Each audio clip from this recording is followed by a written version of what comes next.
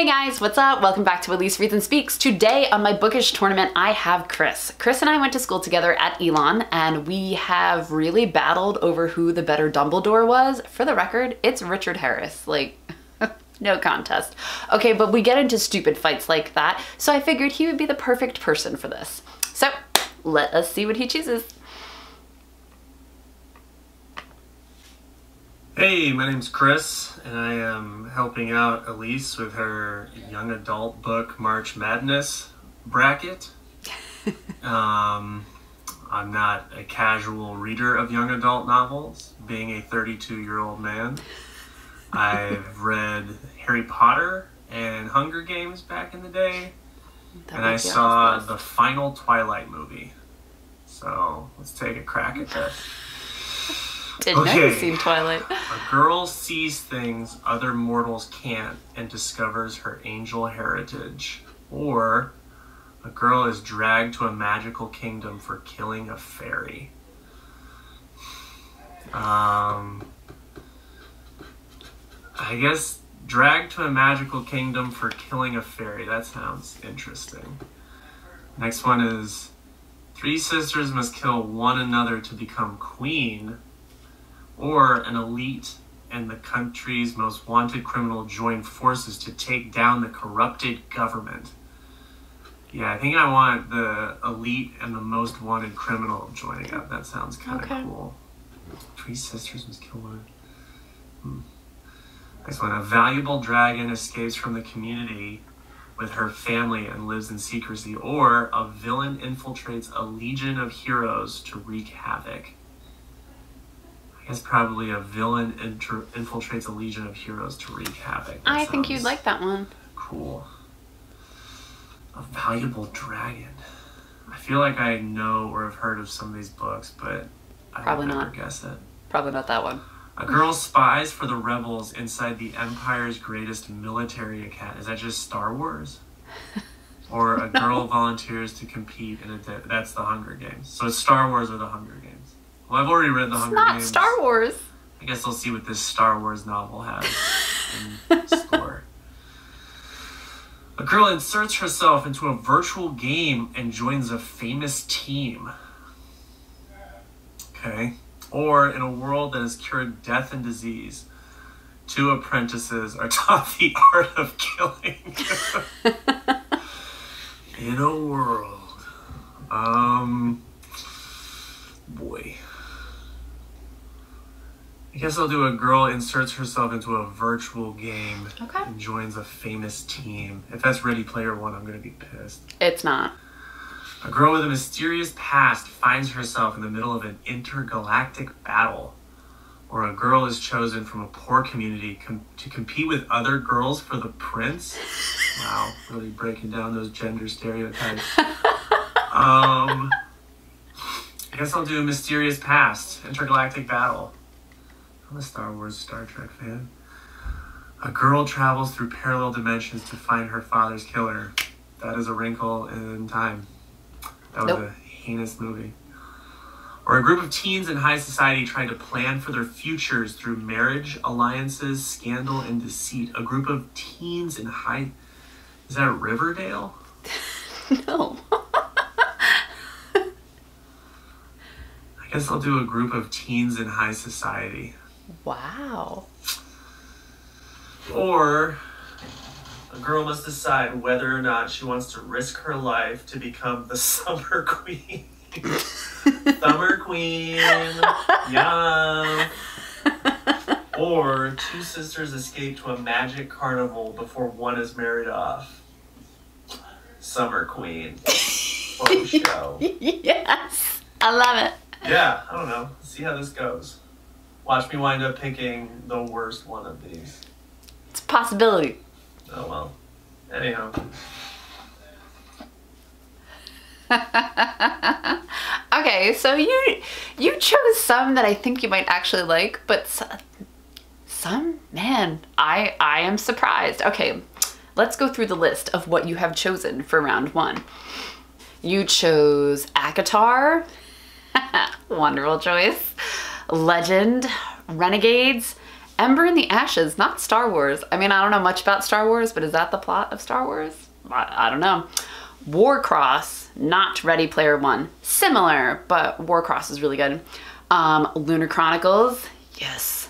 The Lux, you're my first one that has chosen the Lux. Yay! And Wicked Lovely, Summer Queen. okay, let's see what you choose for round two.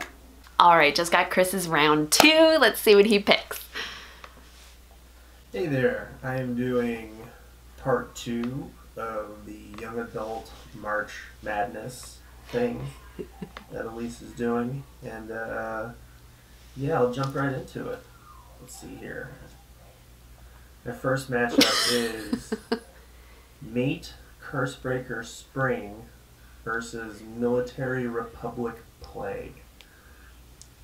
I wonder if mate is used as a noun or a verb in this sense. Both. It's both. Hmm. I'll do mate on the off chance that it's a young adult novel with people having sex in it. It is! This one Hooray! is Powers, Nightmare Helmet, Okay. Cook, Masks, Commandment. Commandant, I'm sorry. Cook, Masks, Commandant. Okay, can we. I wonder if Cook is the same situation where it's about a cook or people are cooking like a young adult novel about people cooking in masks. I just I just have to pause it because I am very very impressed. Like most people say commandant, they don't get it. He stopped and said commandant. I'm just Chris, you took my breath away. That was so good. Okay. Continue on. I think I'll do the uh, Powers Nightmare Helmet. Okay. That seems more captivating to me. Next is Power Up Phoenix Hacker versus Cyborg Moon Disease. Ugh. I think I like Cyborg Moon Disease only because if you took out the commas from that, it seems way cooler. yeah, a Cyborg Moon Disease.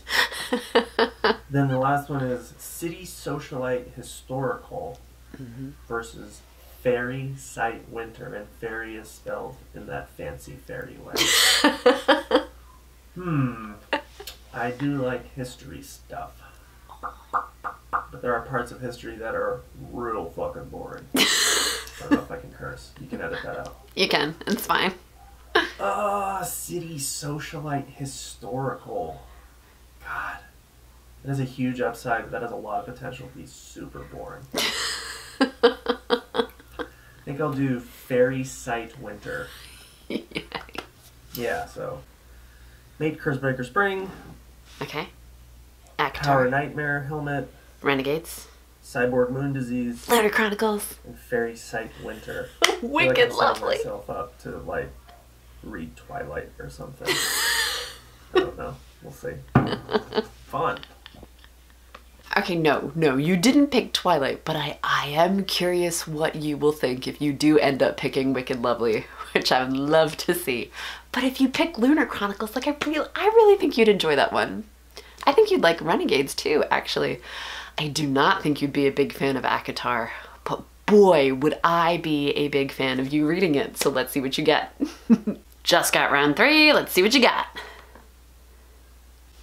Hey guys, I'm back again for Lisa's March Madness thing, and um, now I have to decide between people's names. hmm So I'm looking at these names right now, and they don't sound like normal names. so the first two names are Rysen, Rysen, Ry- Mhm. probably Rysan, Rysan versus Nova, and then the next set of names is Thorn versus Donia, Danya, Dania. The first one I'll probably do. Oh god, I don't know, maybe Nova. That sounds cool. Okay. Then for the second one, uh, God, I almost want to flip a coin. Thorn, Danya. Guess I'll go Danya. Donia. Yeah, that's what. Watch me pick like the worst books of all time. Okay, so we had to say goodbye to ACOTAR, which is a bummer because I would have really enjoyed watching you read that one. I think you might like Renegades though. If that's the one that you end up with, you might actually end up with something that you like reading. I don't think you're gonna love Wicked Lovely if you end up with that one. So I will enjoy you reading that one. Okay, let's see what you pick for your final round. All right, just got Chris's round four. I want you to know that I made this very easy for him to pick something that he might like, okay? His his last round was superheroes versus fairies. All right? That was as easy as I could make it for him. So if he picks fairies, he has nobody to blame but himself for his choice. All right. I just wanted to put that as a disclaimer. Let's see what he goes with. Hey there. Uh, oh, I just realized how much my beard is coming in. my quarantine beard. um, this is the final round for Elisa's little book March Madness thing. I guess it's not really March anymore. But um, my final choice is superheroes versus fairies. I feel like I already know a lot about superheroes.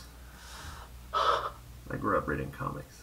So I think I'm gonna pick fairies. I feel like that's when the laugh track starts because I just picked like the one book I would never ever read in my life. You did. You did. That's great. I'm excited. Oh, and I am excited for you. You chose Wicked Lovely. Oh man. Okay, hold on just one second because I, I know that I need to read the tagline on the back of this book so that you get a snapshot of what you have just signed on to. Hold on one second. All right, I'm back. I'm just gonna read you the back of the book because I feel like the back of the book sums it up much better than I ever could. All right. Rule number three don't stare at invisible fairies. Rule number two don't speak to invisible fairies. Rule number one don't ever attract their attention. Aislinn has always seen fairies. Powerful and dangerous, they walk hidden in the mortal world. When the rules that have kept Aislinn safe from them stop working, everything is suddenly on the line her freedom, her best friend, Seth, her life everything. Fairy intrigue, mortal love, and the clash of ancient rules and modern expectations swirl together in Melissa Marr's stunning 21st century fairy tale. Oh man. Okay. I, I just want to say that like I I'm not trashing this series at all. The reason that it's even on this list is because I immensely enjoyed it. But I gotta be honest, I don't know if you will, but I would really like you to give it a try, all right? The premise is that this girl, okay, this didn't give it um, as good a summary as I thought it would. This girl has always had the ability to see fairies, okay? So we know that. The premise is that this guy has been searching for his queen the entire time. Like, it's been centuries where he's been looking for his summer queen so that summer will be a more powerful realm. Because right now, winter is taking over everything. If he finds his mate, like his match to be his queen, then the summer can kind of balance with the winter instead of being at winter's beck and call. All right. So it, does sound a little flimsy, but there's a lot of cool fairy stuff in here. Like if you're not super knowledgeable about fairies, like there's a lot of good stuff in here about the different fairy courts and what their their character traits are. Like I find it super interesting. Oh man, I really hope you read this during quarantine. I really hope you do. Okay, thank you so much for playing my game so far. Man, this is like the underdog, okay? This is the Cinderella story, the one that comes from behind that we didn't see coming. Oh, I love it. I love it. I love a good Cinderella story. All right, thank you for tuning into Elyse Reads and Speaks. I'll catch you next time, guys. Bye.